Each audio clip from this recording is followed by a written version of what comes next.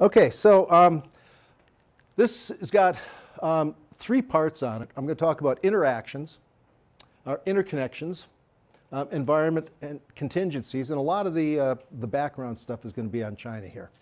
Uh, but what I want to start off with is an idea that comes from Fernand Braudel um, and others that was taken up by Pomeranz. And that is that the world prior to the Industrial Revol Revolution, most people, 95% of whom are in farming communities, live in very similar circumstances. And those very similar circumstances create material kinds of demands um, that lead to various actions and activities having to do with farming. And I'm going to, we're going to talk about farming and a few other things. Um, and that is going to take us into um, an, an, area that may be new for most of you. It's going to be new for Kyle too because he's got the second edition. Uh, but I want to introduce to you the idea of the nitrogen cycle and how and why that's really important in history and in world history.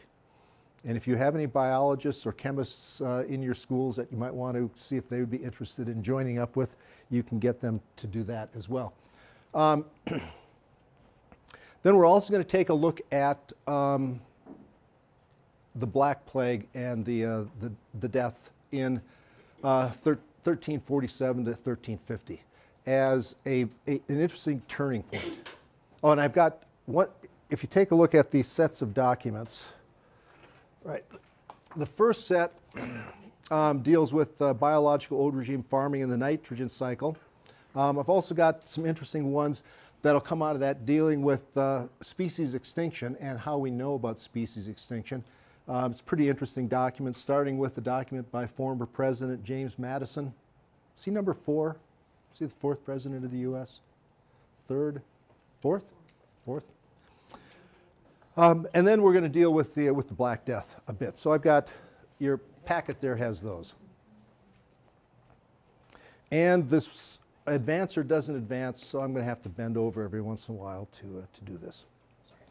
So I took the concluding sl slide and put it up here uh, just to, uh, to point out to you that um, the, the kinds of documents that, that historians can use can include, we can bring in uh, um, a Miracle-Gro box for students, and you'll see why that fertilizer analysis becomes interesting and important um, in world history. And here's a, uh, here's a plug for my, the, the third edition. Uh, mirror was at $28.99, uh, $29, something like that. Used to be $16. But the third edition has a stronger um, environmental narrative than even previous editions had because the relationship that we as a species have to our environment um, in the 20th century uh, may well turn out to be the most important aspect of 20th century history than anything else. More important than the communist revolutions, more important than the collapse of the Soviet Union, more important than the women's movement, the black movement, any of these. Um, anyway, so uh, that's, that's been beefed up as well. So, um, section First, commonalities, the biological old regime, and I want, I'll explain to you what that is. Um, then we're going to take a break and do some of the, uh, the DBQ stuff with those documents.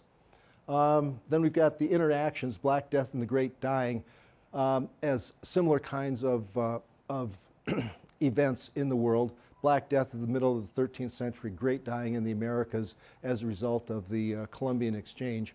Um, and then and there's uh, some documents that we'll be able to look at with regard to that as well. Um, and then I want to uh, talk about uh, contingencies and how the world got to be the way it is and focus on the voyages of the Admiral Zheng He in the 1400s. Um, and I'm going to wind up there with no, with no documents to be used for a DBQ. And I'm going to explain to you why that is. Um, and we'll get to there, okay? So we'll have times to, uh, to stop at various points. Okay.